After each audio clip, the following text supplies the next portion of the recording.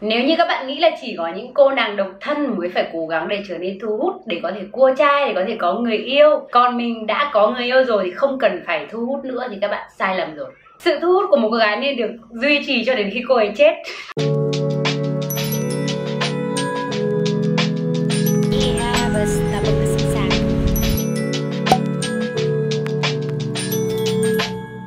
Khí Valentine đã tràn về, nhưng mà ngày hôm nay thì mình rất là buồn. Mình đã có ở đây những cái đồ uống và những đồ ăn ngọt ngọt để có thể khiến tâm trạng mình tốt hơn một chút, Ít nhất là như vậy. Mình có Starbucks nhé, Và đây mình có một ít kẹo. Kẹo này là mình đưa từ, mình đưa từ quê ra.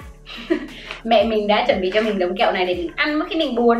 Và ngoài ra thì mình có sô-cô-la mình có sô cô la nhá đây là hot green tea, có nghĩa là có yến mạch và trà xanh thì ok ngày hôm nay thì mình như title các bạn đã thấy đó là mình đã nói về sự thu hút đúng không?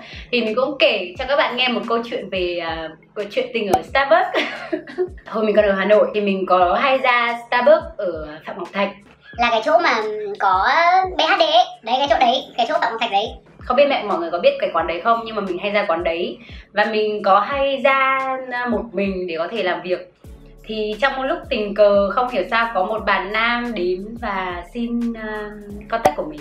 Nhưng ngày hôm đấy thì mình mặc đồ rất là bình thường mình cảm giác là mình kiểu rất là bình thường, không có một cái gì đặc biệt luôn ấy tại vì nói chung là đi không phải đi chơi với bạn bè mà chỉ đơn giản là đi một mình và làm việc thôi. Nhưng mà mình cũng không hiểu sao lại có người qua và làm quen với mình. Nên là mình đặt câu hỏi là thực sự sự thu hút nó đến từ cái gì? Nên là ngày hôm nay mình sẽ chia sẻ mọi người 5 điều khiến con gái trở nên thu hút mà mình đã đúc kết được trong một thời gian dài qua những cái câu chuyện mình trải qua và qua những cuốn sách mà mình đã đọc.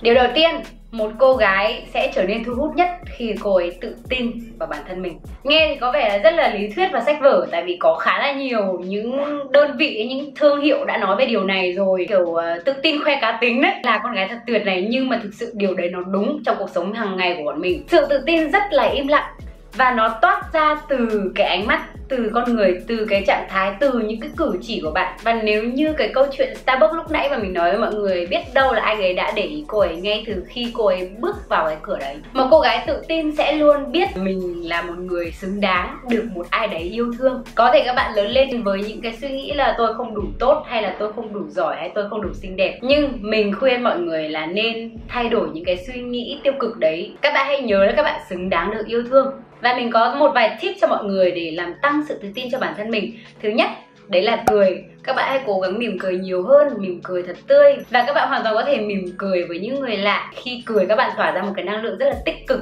Thứ hai, đấy là các bạn hãy luôn là chính mình. Các bạn không cần phải cố gắng để trở thành một cái hình mẫu nào đấy chỉ đơn giản là chính mình mà thôi. Và điều đặc biệt quan trọng hơn, đấy là các bạn phải nạp vào mình những nguồn năng lượng tích cực. Những nguồn năng lượng tích cực đấy, nó đến từ những người mà bạn thường xuyên tiếp xúc và cả những trang báo mạng hay là những thông tin mà các bạn thường xuyên xem. Điều thứ hai cũng là một trong số những cái điều căn bản và Điều thứ hai cũng là một điều vô cùng căn bản mà mình nghĩ là bất cứ cô gái nào cũng phải làm được. Đấy là biết chăm sóc bản thân mình. Đầu tiên, đấy là việc các bạn chăm sóc cơ thể của các bạn. Hãy tắm rửa thường xuyên và đảm bảo cơ thể của bạn không có mùi. Mình nghĩ đây là một điều tối căn bản luôn ấy. Và đảm bảo là mỗi sáng các bạn bước ra đường thì các bạn cảm thấy cực kỳ tươi mới và thoải mái với cơ thể của mình. Trong video 15 thứ mà con gái cần trước năm 23 tuổi thì mình có nhắc đến nước hoa. Tuy nhiên hiện tại mình thấy có một bộ phận bị lạm dụng quá với nước hoa. Giống như mình bước vào một cái cầu thang máy và đôi khi mình phải kiểu sắp chết ngạt ở trong đấy luôn tại vì mùi nước hoa nó quá nặng. Hãy ưu tiên những cái mùi hương tự nhiên của các bạn và cố gắng làm thế nào đấy để cơ thể của bạn không bị phát ra mùi hôi, thay vì là xịt quá nhiều những cái mùi nước hoa khác và nó đôi khi nó trộn lẫn với những cái mùi mồ hôi của các bạn và nó tạo thành cái hỗn hợp rất là rất là khó tả.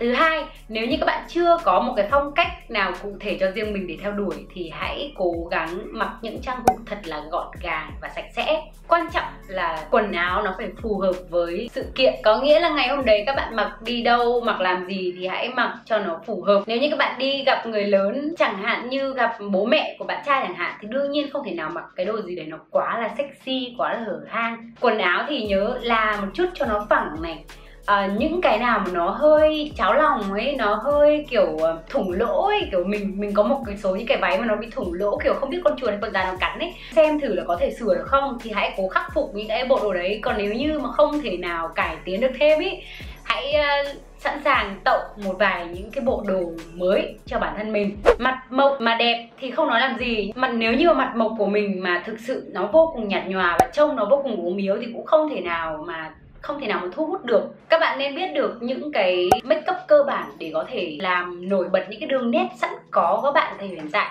Các bạn không cần phải make up quá đậm đâu. Nếu như các bạn đã xem cái video một ngày bình thường của mình các bạn cũng biết được là mình make up như thế nào. Kinh khủng như thế nào.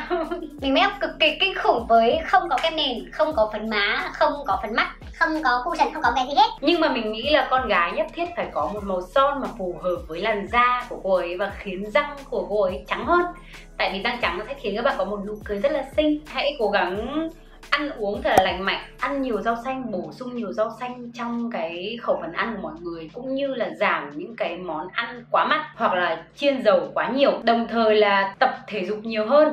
Tập thể dục sẽ khiến các bạn có thêm một cơ thể rất là săn chắc và cơ thể thì cũng là một trong số những điểm cực kỳ thu hút. Và đặc biệt các bạn hãy quan tâm đến ba điểm trên cơ thể. Đấy là làn da, móng tay và mái tóc. Điều thứ ba khiến bạn trở nên thu hút và điều này là một điều cực kỳ khủng khiếp, nó có một sức mạnh khủng khiếp. Đấy là sự nữ tính. Nữ tính là đặc quyền của một người con gái. Và nếu như các bạn trong hình hài một người con gái nhưng mà tính cách thì cực kỳ đàn ông thì điều đấy là một cái bất lợi cho con gái chúng mình đấy. Mình ngồi đây không phải là để dạy dỗ các bạn là phải làm như thế này hay là phải làm như thế kia nhưng mà đây thực sự là những cái gọi là nếu như các bạn biết và các bạn áp dụng nó trong cuộc sống thì là một cái điều may mắn nếu như các bạn nhận ra điều đấy, các bạn hãy nhớ là các bạn có thể cả tình với tất cả mọi người, trừ người đàn ông mà bạn yêu ra mình đã từng đọc một số những cuốn sách của những tác giả rất là nổi tiếng, đặc biệt là về sách tâm lý tình yêu, như là John Gray hay là Steve Harvey, thì họ rất là đề cao cái sự nữ tính trong mối quan hệ. Sự nữ tính không chỉ giúp bạn có thể được thu hút ngay từ ban đầu, mà còn có thể giúp bạn duy trì cái sự thu hút đấy về sau, kể cả khi mà hai bạn đã cưới nhau và sống với nhau trong một thời gian dài rồi. Bởi vì đấy là một sự khác biệt cực kỳ lớn giữa bạn và người bạn đồng hành với bạn nữ tính không chỉ đến từ vẻ bề ngoài mà nó phải toát ra từ bên trong nội tâm của các bạn. Và một số những điểm thể hiện rất lớn cái sự nữ tính. Đấy, thứ nhất là biết lắng nghe. Các bạn hãy để ý một chút là trong một cái cuộc trò chuyện, bạn có phải là người nói quá nhiều hay không? Các bạn đã nghe người khác đủ chưa? Việc lắng nghe nó thể hiện một sự nhu mì của một người con gái. Đặc biệt là khi các bạn ngồi bên cạnh người đàn ông của mình, nghe anh ấy kể về những chiến công của anh ấy hay là những khó khăn mà anh ấy đang gặp phải, thì điều mà anh ấy mong muốn ở bạn không phải là một lời khuyên hay là một lời dạy dỗ, mà chỉ đơn giản là sự lắng nghe bình thường thôi và một điều giúp bạn tăng sự nữ tính đấy là cần sự giúp đỡ. Ngày xưa thì mình từng nghĩ là mình có thể mạnh mẽ mà tôi mạnh mẽ và tôi có thể tự làm mọi thứ trong cuộc sống. Tuy nhiên thì các bạn hãy cần sự giúp đỡ khi mà các bạn thực sự cần. Các bạn không nhất thiết phải luôn luôn giả vờ và luôn luôn, kiểu, tỏ vẻ yếu đuối để nhận sự giúp đỡ từ người khác. Tuy nhiên thì đôi khi có những người đàn ông xung quanh bạn và họ đang rất rất muốn được giúp đỡ bạn nhưng mà bạn lại không cho họ cái cơ hội đấy. Hãy nhìn nhận lại một chút rằng bản thân chúng ta là những cô gái rất là yếu đuối, yếu mềm và chúng ta xứng đáng được giúp đỡ. Những người đàn ông mà người ta giúp đỡ được bạn ấy, người ta cảm thấy đấy là một thành công và đấy là một điều mà họ cảm thấy rất là rất là tuyệt vời và họ sẽ cực kỳ yêu cái cô gái mà luôn luôn cho họ cảm giác là cần phải bảo vệ và che chở nên các bạn gái của tôi hãy nhớ nữ tính là một vũ khí vô cùng tuyệt vời để các bạn có thể làm tăng sự hấp dẫn, tăng sự thu hút của bản thân mình.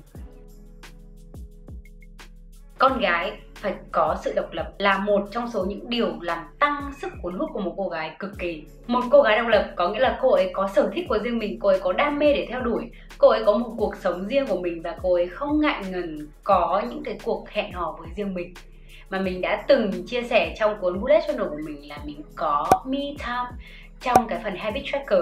Cái sự độc lập này khiến con gái cực kỳ thu hút luôn.